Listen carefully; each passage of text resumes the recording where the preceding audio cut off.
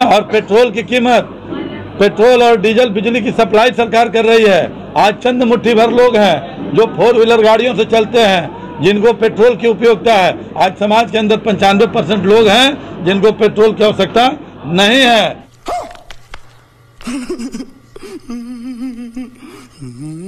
यही नहीं अभी और सुनिए। तो अभी पेट्रोल डीजल के दाम बहुत कम है।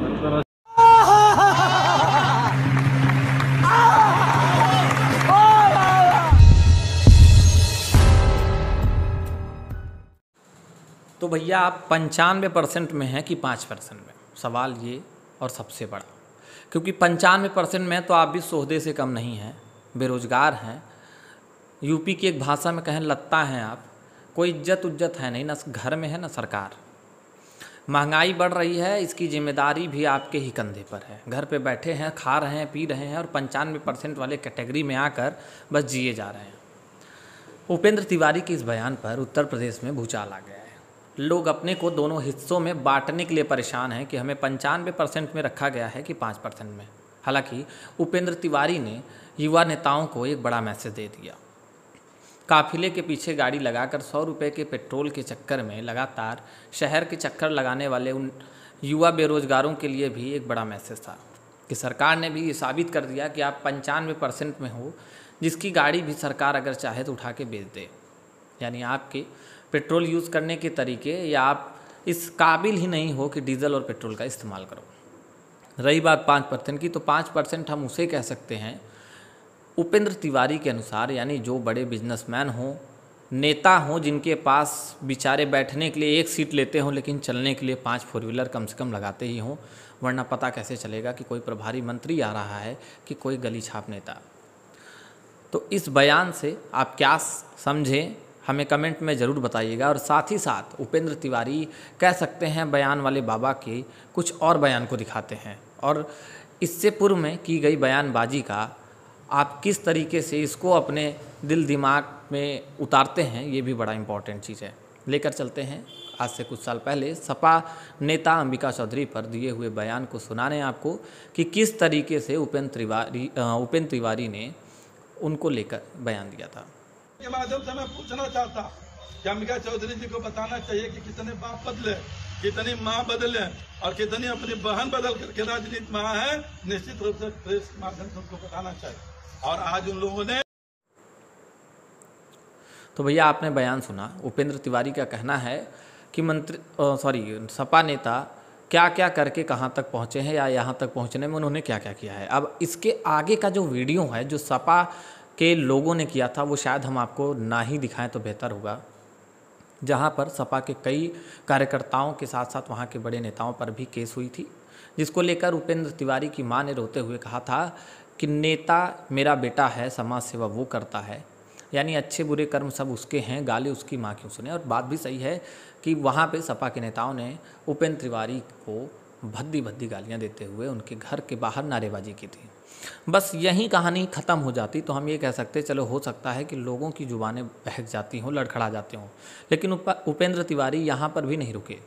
आगे कुछ एक ऐसा बयान उन्होंने फिर दिया, जिसको लेकर कह सकते हैं कि आप फिजिक्स और केमिस्ट्री में पढ़ सकते हैं कि किसी चीज़ का जनक कौन है। रेप के नेचर को जानने वाला पहला जनक मिला उत्तर प्रदेश ही नहीं, पूरी दुनिया को, कि वो बता सकता है कि रेप के नेचर्स क्या होते हैं। ये मैं नहीं कह रहा हूँ उपेंद्र तिवारी का ये वीडियो आपको बताएगा। रेप का नेचर होता है। अब जैसे अगर कोई नाबालिग लड़की है उसके साथ रेप हुआ तो उसको तो मानेंगे लेकिन कहीं कहीं पे ये भी सुनने को आता है कि कोई विवाहित महिला है उस उम्र तीस साल है तीस पैंतीस साल के बाद भी वो आता है कि इनके साथ रेप हुआ।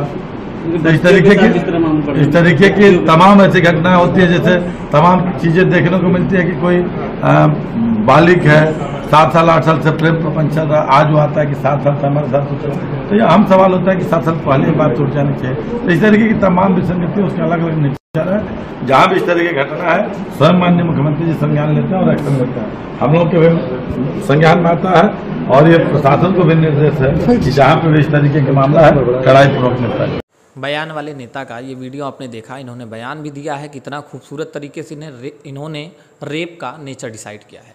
आप इतने से अंदाज़ा लगा चुके होंगे कि मंत्री जी को कहाँ पैसा देना है खुद की गाड़ियों में तेल भराने के लिए। सरकारी पैसे से ज़िंदगी कट रही है अयासी से। साथ ही साथ आपको बता दें कि बलिया के मूल निवासी हैं उपेंद्र तिवारी।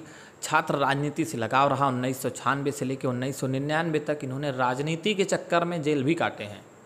तो यानी अलाहाबाद बोले तो प्रयागराज की राजनीति से उभरे हुए ये सितारे, जिन्हें खूब पता है कि उत्तर प्रदेश की धरती पर महँगाई को लेकर क्या चल रहा है। जहाँ एक तरफ़ वहाँ के छात्र नेताओं पर आरोप भी लगते रहे हैं शुरू से कि वसूली में छात्र नेताओं का नाम रहा है। कहीं हो न, उपेंद्र तिवारी जी कुछ इसी राजनीति से उठते हुए यहाँ तक पहुँचे हैं, जिन्हें उत्तर प्रदेश की जनता का दर्द ना दिख रहा हो, क्योंकि पैसा अगर अपनी खून पसीने की कमाई का हो तो खर्च करने में दर्द होता है। फ्री वैक्सीनेशन का एक हवाला देते हुए जिस तरीके से उपेंद्र तिवारी अपने जीत का, अपने विकास का परचम लहरा रहे हैं, वो कहीं ना कहीं ये कहा जा सकता है कि मानसिक स्थिति भाजपा की अब बिगड़ते हुए नज़र आ रही है।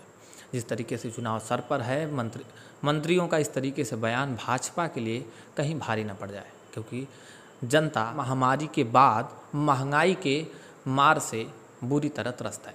फिर मिलेंगे किसी और खबर के साथ। तब तक के लिए जय हिंद। आज कहने के लिए कोई मुद्दा नहीं है और विपक्ष मुद्दा विहीन है। और आप 2014 से पहले का आंकड़ा ले लीजिएगा और आज का आंकड़ा ले लीजिएगा। और प्रति व्यक्ति आय मोदी जी और योगी जी की सरकार बनने के पहले क्या थी? और आज कितनी है? तो प्रति व्यक्ति आय दोगुनी बढ़ी हुई है। दोगुनी से भी ज़्यादा आज बढ़ी हुई है साढ़े चार साल और सात साल के अंदर। ठीक ना? और पेट्रोल की कीमत पेट्रोल और डीजल बिजली की सप्लाई सरकार कर रही है। आज चंद मुट्ठी भर लोग हैं। जो फोर व्हीलर गाड़ियों से चलते हैं, जिनको पेट्रोल की उपयोगिता है। आज समाज के अंदर पंचानवे परसेंट लोग हैं, जिनको पेट्रोल की आवश्यकता नहीं है और मुफ़्त में, आज सौ करोड़ से ऊपर लोगों को मुफ़्त में वैक्सीन सरकार ने दिया है। आज कोरोना में फ्री में इलाज दिया है। घर घर में दवाइयाँ बांटी जा रही है। मुफ़्त में दवाई मुफ़्त में मुफ़्त में पढ़ाई, मुफ़्त में सिंचाई और मुफ़्त में कढ़ाई, ये सारा सरकार मुफ़्त में सरकार ने लिया है और इस हिसाब से अगर अन्य राज्यों की तुलना करेंगे तो अभी उत्तर प्रदेश में और देश में बहुत कम मूल्य बढ़े तो क्या मुफ़्त के कारण ही डीजल पेट्रोल के दाम जो है कहीं नहीं बढ़ा है। अगर प्रति व्यक्ति आमदनी क्या है इसे तुलना करेंगे तो अभी पेट्रोल डीजल के दाम बहुत कम है।